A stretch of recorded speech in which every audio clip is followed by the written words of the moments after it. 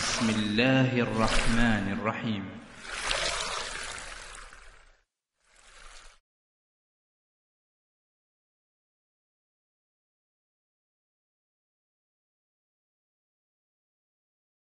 Masya Allah, pertanyaannya pakai keren banget sekarang. Jadi dari tadi yang pegang HP itu tulis soal ke sini kayaknya.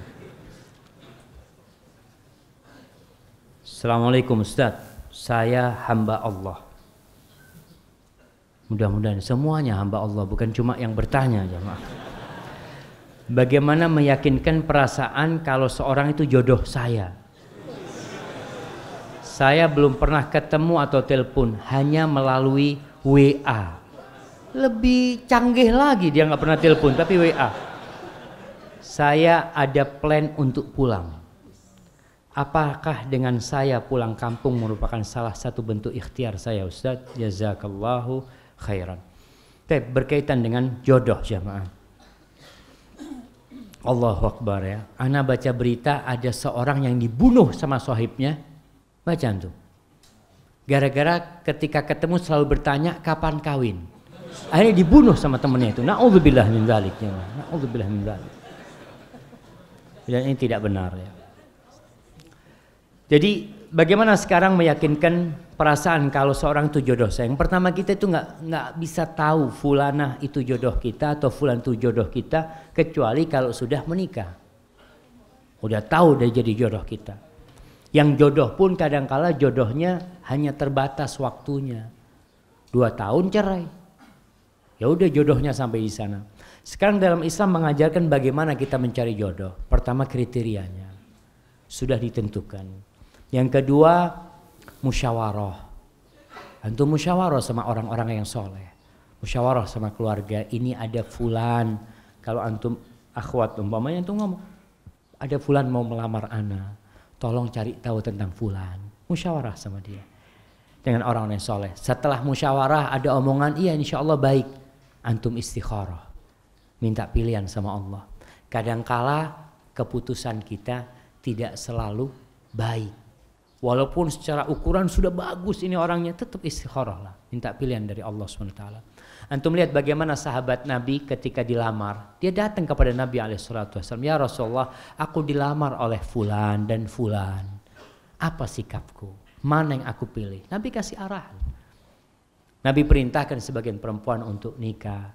Seperti Zaid bin Haritha disuruh menikahin Zainab pada waktu itu. Zainab pada waktu itu nggak mau sama Nabi disuruh menerima akhirnya dia menerima. Radhiyallahu taala anha. Namun jodohnya Zaid bin Haritha dengan Zainab bintu Jahash nggak lama. Karena setelah itu bercerai. Kemudian Zainab dinikahin oleh Rasulullah Shallallahu Alaihi Wasallam. Tapi jelas tadi kalau antum katakan apakah antum pulang? Nggak ada masalah pulang kampung kalau ternyata memang adanya di kampung itu itu orang. Dan hati-hati berhubungan lewat medsos ini jamaah banyak kebohongan di sana. Tadi anti katakan nggak tahu ini siapa orang ini, gimana kondisinya. Tapi alhamdulillah medsos sendiri membantu kita untuk menyingkap kepribadian seseorang. Antum nggak mau tahu fulan, antum masuk ke akun dia. Jadi apa? Jadi follower dia umpamanya. Antum masuk ke sana, antum lihat. Kalau dia di situ tidak menyantumkan nama aslinya, antum tinggalkan sudah. Ini penipu ini. Kelihatan sudah. Kalau di akun dia bukan nama aslinya berarti dia penipu. Berarti bisa jadi dia punya akun lain ini itu macam-macam. Tapi kalau dia nama aslinya dia selesai insya Allah sudah. Nggak ada masalah. Enggak usah, namanya memang samaran supaya keren. Enggak. Kemudian antum lihat. Karena dengan mengikuti dia akan terlihat dia ini seperti apa. Teman-temannya bagaimana. Burung itu berkumpul dengan sejenisnya. Nggak ada burung dara kumpul sama burung beo. Nah, diajak ngomong nggak nyambung itu burung. Assalamualaikum Ustaz, saya ingin tanya. Apakah nanti di padang masyar kita masih bisa bertemu dengan orang tua kita? Nah, tapi kata Nabi alaihi salatu wassalam, "Amma fi thalathati mawatin fala." Di tiga tempat orang tidak akan ingat dengan orang lain. Yang pertama, siapa yang tahu? Di padang mahsyar akan banyak kejadian-kejadian di sana jamaah. Ada tiga tempat yang kata Rasul SAW itu kita nggak akan ingat sama orang lain. Kita hanya ingat sama diri kita sendiri. Siapa yang mau jawab? Nah, mana yang mau jawab tadi? Mizan, sirat, satu lagi? Baik, hadiahnya berarti dua. Masya Allah. Nah, yang pertama ketika pembagian kita. Ketika rapot dibagikan, itu orang hanya memikirkan dengan tangan apa aku memegang rapotku. Sampai dia dapat rapotnya baru dia kembali ingat dengan saudaranya. Kemudian yang kedua ketika ditimbangan. Yang ketiga ketika disirat. Di lain tempat itu nggak ada masalah. Sebagaimana nanti orang-orang akan mendatangi Nabi Nabi Adam alaihissalam, akan datang kepada Nabi Nuh untuk minta syafaat nantinya ke Nabi Ibrahim. Mereka mengenalin itu semuanya. Seperti itu. Hadza wallahu a'lam Maka kita doakan kepada kita doakan kedua orang tua kita agar diampuni dosa-dosanya dan dimasukkan dalam surga Allah Jalla. Nah, Afan sebelumnya ini bukan pertanyaan tapi pengumuman. Gimana panitianya? Saya jomblo 20 tahun. Alhamdulillah punya pekerjaan dan calon mahasiswa jurusan bahasa Arab. Saya ingin menikah tapi belum punya calon. Barangkali di al ikhlas ada yang minat. Masya Allah. Saya juga punya teman usia 25 tahun dia belum menikah. Minta dicarikan juga. Antum cari sendirilah jemaah. Kalau anak kecil dicarikan. Anak besar sudah bisa cari sendiri dia. Insya Allah. Dan ala antum nanti hubungin panitia masjid. Mana panitia? Ada calon di sini? Di Masjid Al-Ikhlas? Nah, insya Allah Masjid Al-Ikhlas nanti akan me, memang biro jodoh ini penting ya. Seharusnya antum kalau mau menikah gini berangkat ke pesantren tahfidz, datang ke sana. Iya Ustaz, tapi anak nggak hafal Quran Ustaz ya jangan ke pesantren tahfidz Quran, cari pesantren lainnya gitu kan. Yang sesuai kira-kira antum diterima gitu seperti itu. Tapi anak doakan mudah-mudahan yang pada jomblo yang belum nikah segera menikah. Kemudian nih anak-anak muda yang pada ngaji tolong bermusyawarah sama orang tuanya. Jangan durhaka sama orang tuanya. Kadang kala tahu-tahu kawin. Oh, bapak anak nggak setuju, Ustaz. Anak daripada berzina, oh udah anak nikah aja katanya. Bukan seperti itu caranya jamaah. Antum perlu dekat sama orang tua, insya Allah orang tua akan mengizinkan. Nah, Ustaz bagaimana cara agar niat kita itu benar-benar lurus lillahi ta'ala. Karena terkadang niat itu suka melenceng walaupun niat awalnya sudah baik. Subhanallah sahih jamaah. Jadi masalah niat ini ulama-ulama besar dari kalangan salaf pun berbicara tentang niat itu. Sufyan mengatakan ma'alajtu syai'an asyadda ala nafsi min niyati fa innaha tataqallabu alayya. Aku nggak pernah apa ya? ngopeni, ngopeni itu ngurusin. Nah, ngurusin sesuatu yang lebih berat daripada ngurusin niatku sendiri. Gimana? Bahasa Arab ngopeni. Masa ngopeni bahasa Arab? Afan ya, Mam. Kita tinggal di kampung, kadang kala bahasanya kacau. Anak sampai ditanya sama teman, Ustadz, eman-eman itu apa sih Ustadz? Anak sering lihat Ustadz ngomong eman-eman gitu dia. Apa eman-eman jamaah? Sayang, Masya Allah. Hah? Bahasa Turki, bahasa Turki eman-eman.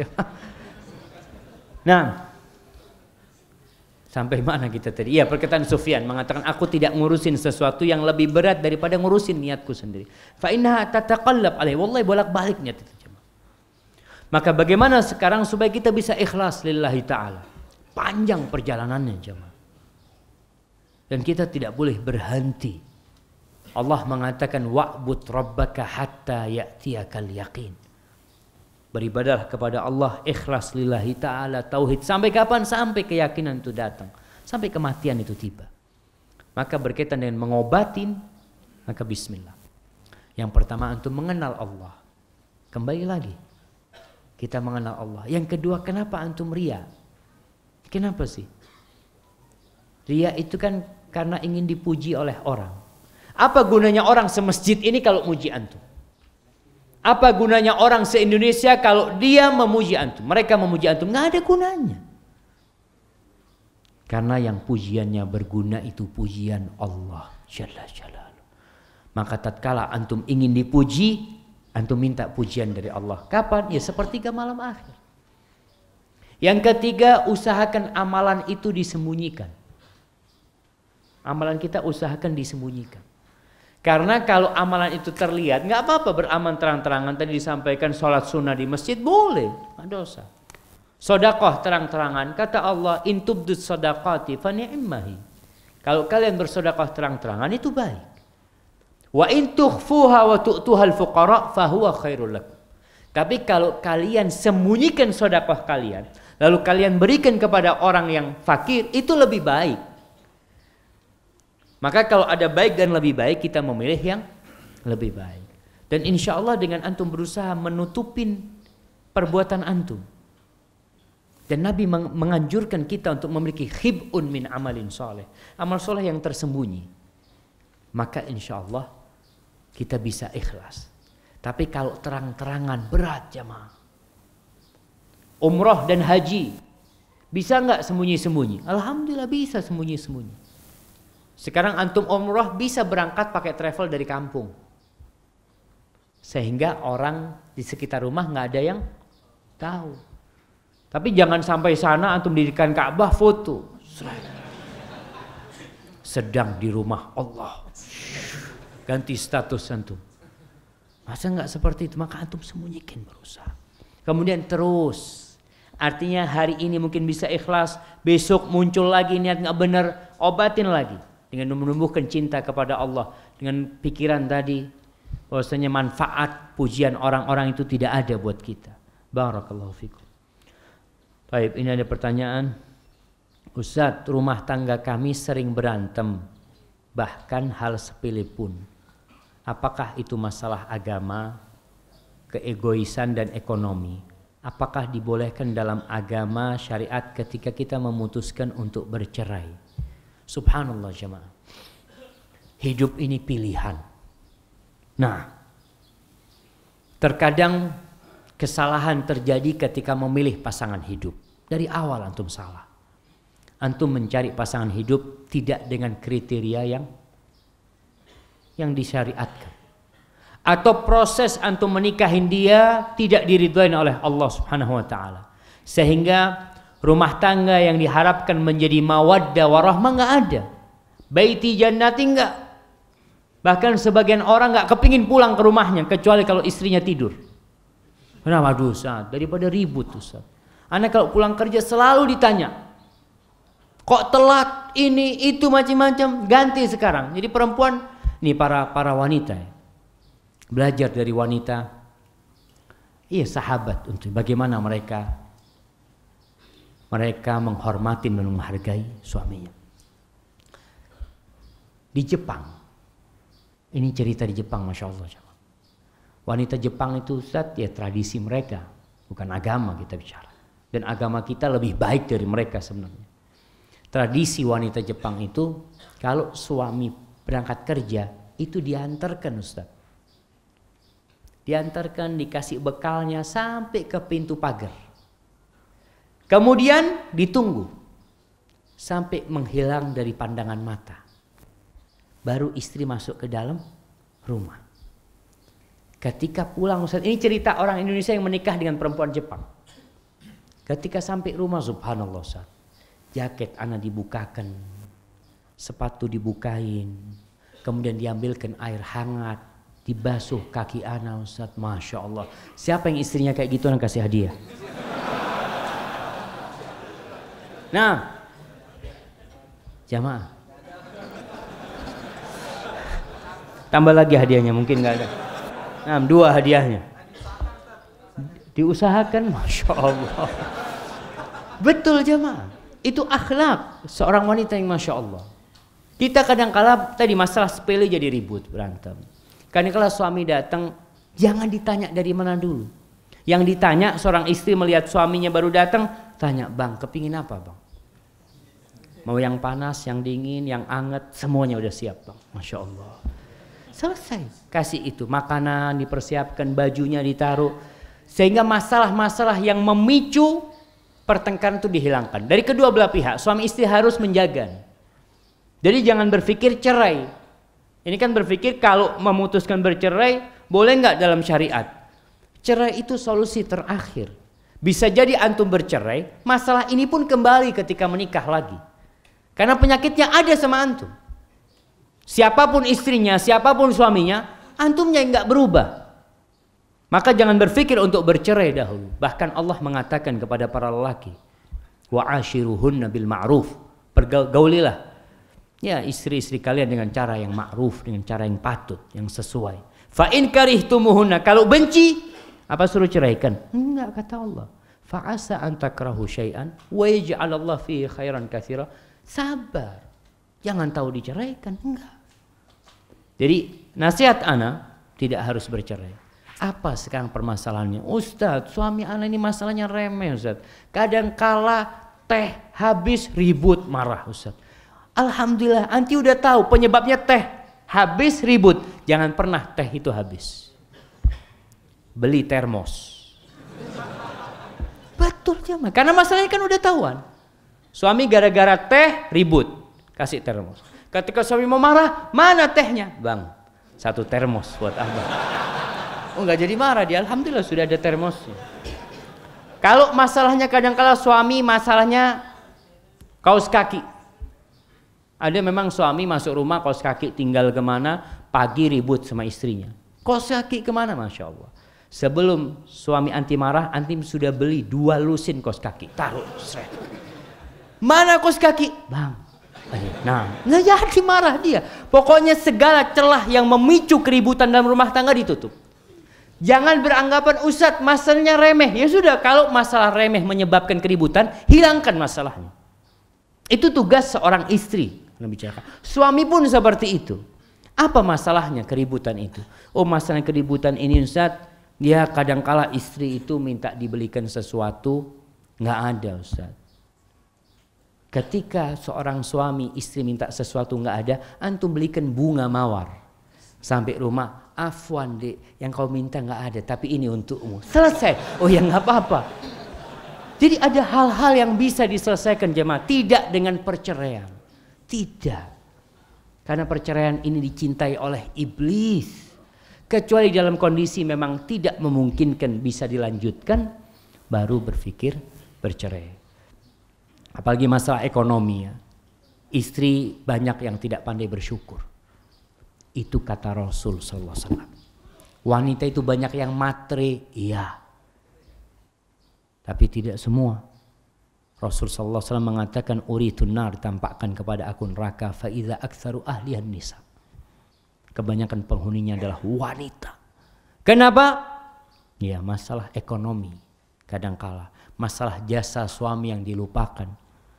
Yakfurnal ihsan wayak furnal ashir. Dia kufur dengan kebaikan-kebaikan suaminya. Dia kufur dengan suaminya sendiri. Padahal suaminya telah banyak berbuat. Ustaz nggak ada baiknya suami anak. Nah, ini sudah bukti. Suami anak Ustaz, anak kayaknya harus minta kenapa? Udah nggak ada baiknya dia. Dia sudah lupa dengan semua kebaikannya. Padahal pasti ada kebaikan di diri suami. Kalau nggak ada kebaikannya, kenapa engkau mau dipinang dia? Barakallahu fikum. Assalamualaikum Ustaz. Ustadz saya sudah menikah 17 tahun. Tapi sampai sekarang rasa cinta itu belum ada. Yang ada rasa kasihan. Apakah Anda berdosa? Kasih solusinya buat Anda Ustadz. Subhanallah jemaah. Tidak semuanya dibangun di atas cinta rumah tangga itu. Di masa Umar bin Khattab, ada seorang tabiin yang namanya Abu Azra Iya, kalau nggak salah. Dia itu dikenal setiap wanita yang dinikahin selalu gugat cerai. Akhirnya nama Abu Azro jadi jelek di masyarakat. Suatu hari dia membawa sahabat dia, Abdullah bin Arqam insyaallah. Dia bawa ke rumahnya. Sinilah, kau masuk ke rumahku. Aku ingin kasih tahu kenapa perempuan-perempuan itu akhirnya gugat cerai atau dipaksa hulu dari dia. Ternyata istrinya itu tidak cinta sama suaminya. Abu Azra mengatakan kepada istrinya, Anshudukillah.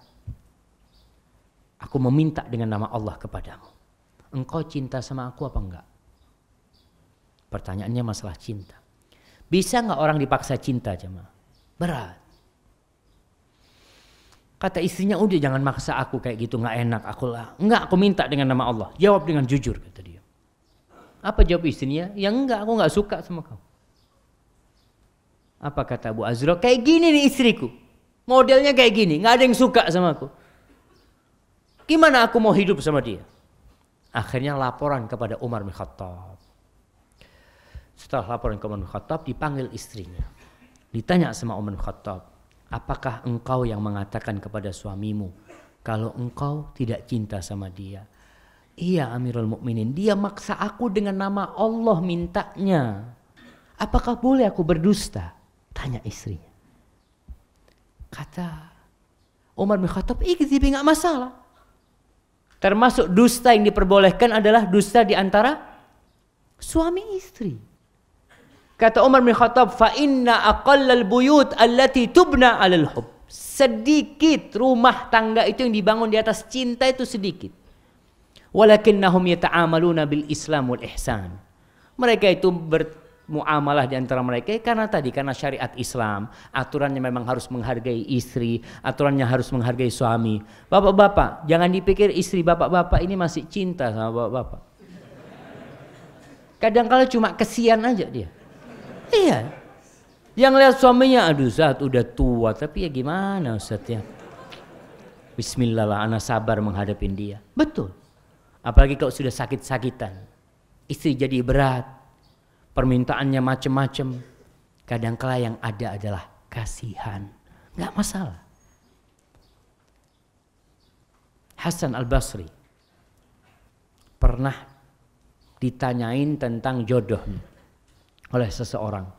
Dia mau menikahkan putrinya. Apa kata Hasan Basri? La tuzawwij ibnataka illa min taqi. Jangan engkau nikahkan putrimu kecuali dengan orang yang bertakwa. Orang yang bertakwa. Kenapa? In ahabbaha akramah. Wa in lam yuhibbaha lam yadhlimha. Orang bertakwa itu kalau cinta, kalau ada cinta sama istrinya, apa yang akan terjadi? Dia akan memuliakan istrinya. Tapi kalau dia nggak suka sama istrinya, apa yang dilakukan orang yang bertakwa? Dia tidak akan mendolimin hak-hak istrinya. Jadi kalau dikatakan, apakah semua harus cinta? Enggak. Tadi yang Anda bacakan, fa'in karih tumuhunna apabila kalian benci kepada istri kalian. Kadang-kala ada benci nggak suka, tapi lihat kepada kelebihannya. Mungkin tadi ngelihat kesian dia Ustaz, dia anak yatim. Ya bismillah, kau bertahan sama dia. Maka dengan kasih sayang itu semoga Allah mengasihimu nantinya. Barakallahu fikum. Nah, ini Ana mau bertanya Ustaz. Pertanyaannya di luar tema. Perempuan kan diwajibkan untuk menutup aurat. Ana pernah dengar jika tidak menutup aurat maka ada empat laki-laki yang ikut masuk ke neraka. Ayah, suami, saudara laki-laki, anak laki-laki. Bagaimana ya Ustaz? Barakallahu fikum. Taib. Rasul sallallahu alaihi wasallam mengatakan kullukum ra'in wa kullukum mas'ulun an ra'iyati. Kalian itu semua adalah pemimpin dan kalian akan dimintai pertanggungjawaban atas apa yang dia pimpin. Seorang ayah akan bertanggung jawab dengan anak-anaknya.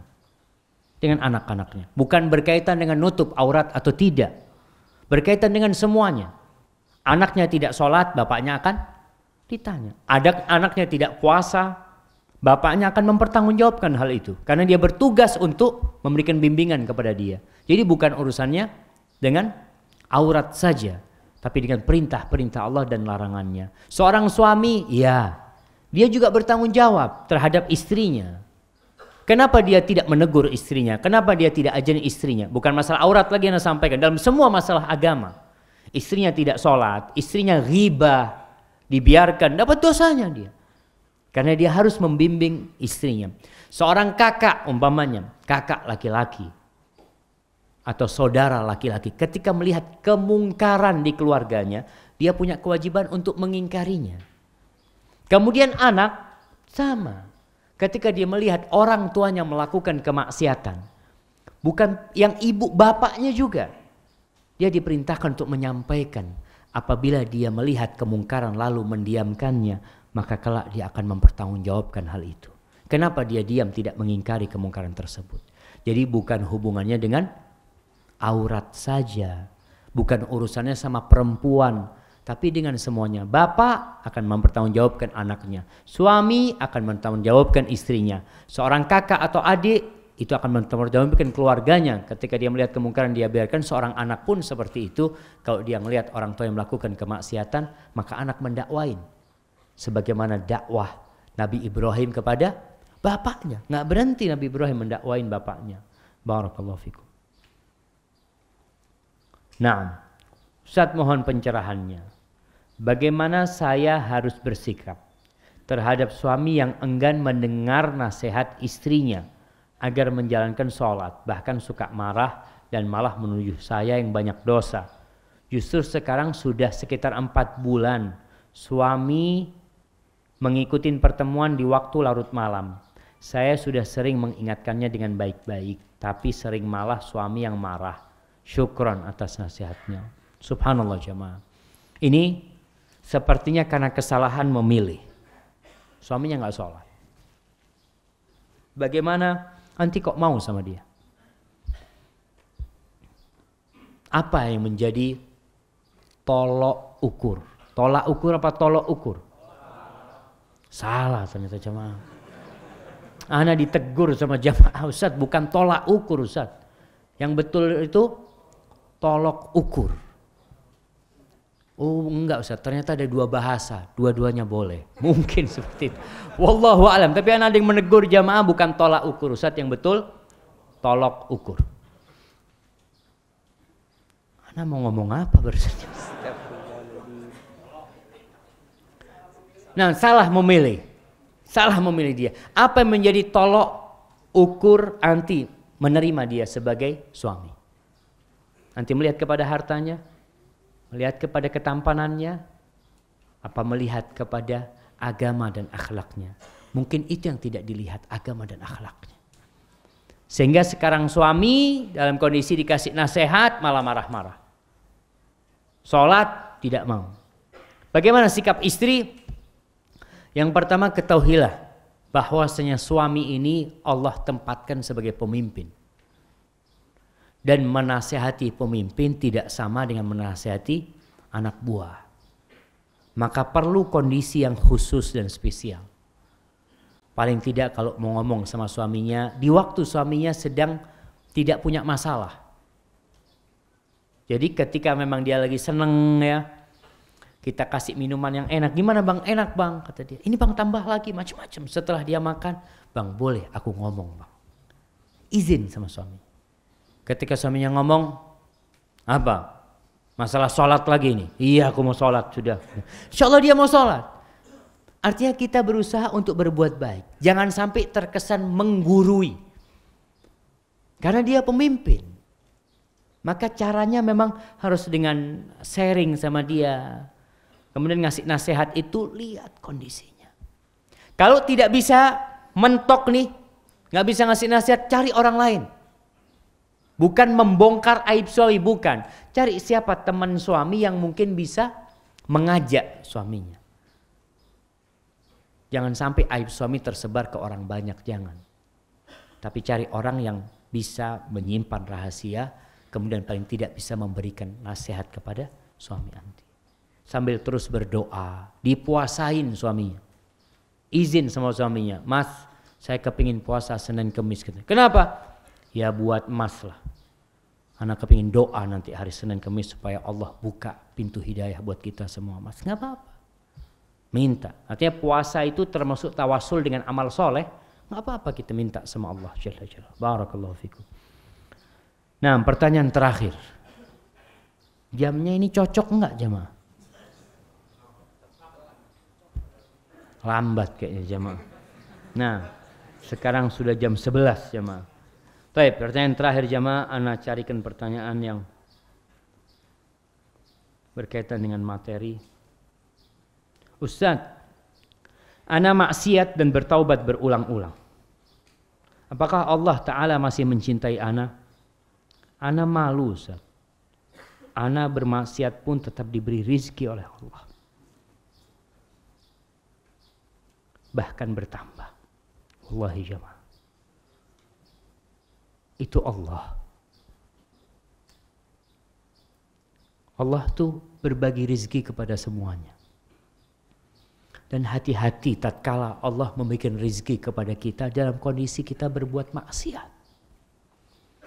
Kata Rasul sallallahu alaihi wasallam, "Idza ra'aitallaha yu'til 'abda 'ala ma'asihi ma yuhibbu, fa'lam annahu istidraj." Apabila engkau melihat Allah mencurahkan rizkinya kepada seorang hamba dalam posisi dia melakukan kemaksiatan. Semua yang dia inginkan dia dapatkan. Kepingin ini Allah kasih, kepingin itu Allah kasih. Padahal dia selalu berbuat kemaksiatan. Maka ketahuilah itu yang disebut istidraj. Diluluh, Allah biarkan engkau. Karena orang kalau dikasih rizki, kadang-kadang lupa, dia jadi GR. Merasa nggak ada masalah. Tapi kalau dikasih musibah, dia jadi ingat sama Allah SWT. Lalu Rasul sallallahu alaihi wasallam membaca firman Allah, "Falamma nasu ma dzukiru bihi fatahna alaihim abwaba kulli syai hatta idza farihu bima utu akhadnahum baghtatan fa hum mublisun." Tatkala orang-orang itu lupa dengan peringatan-peringatan yang diberikan kepada mereka, dikasih peringatan ini, dikasih musibah ini, tapi tetap melakukan dosa. Apa yang terjadi? Bukan Allah tutup rizkinya. Tapi Allah bukakan pintu rizki buat dia. Kulla Sampai tatkala orang ini senang, gembira dengan kesuksesan-kesuksesan yang dia raih, akhadnahum bakta. Allah cabut nyawanya dengan tiba-tiba. Akhirnya mereka jadi orang-orang yang putus asa. Selesai jamaah. Maka hati-hati kalau kita berbuat dosa, kemudian Allah tetap kasih rizki sama kita, jangan-jangan kita sedang diluluh sama Allah. Sebagian ulama salaf itu kalau setahun nggak sakit dia takut. Takut apa? Takut Allah sudah lupa sama dia. Allah sudah meninggalkan dia. Karena di antara tanda-tanda cinta Allah kepada hambanya, Allah kasih ujian dan bala. Itu tanda cinta Allah. Antum kena musibah, antum sakit, antum ini. Ini tanda cinta Allah. Kata Rasul SAW, Iza ahabballahu qawman ibtalahum. Allah Allah cinta kepada suatu kaum Allah akan kasih bala sama dia sehingga dia kembali ingat sama Allah terus. Hadza wallahu a'lam. Itu yang bisa kita kaji pada kesempatan kali ini. Mohon maaf atas segala kekurangan apabila banyak pertanyaan yang belum sempat dijawab. Dan apabila yang anda sampaikan benar itu dari Allah Jalla Jalaluh, kalau ada yang salah dan kurang berkenan itu dari diri anda pribadi. Allah dan Rasul yang terbebaskan dari kesalahan itu. سبحانك اللهم وبحمدك أشهد أن لا إله إلا أنت أستغفرك وأتوب إليك. السلام عليكم ورحمة الله وبركاته.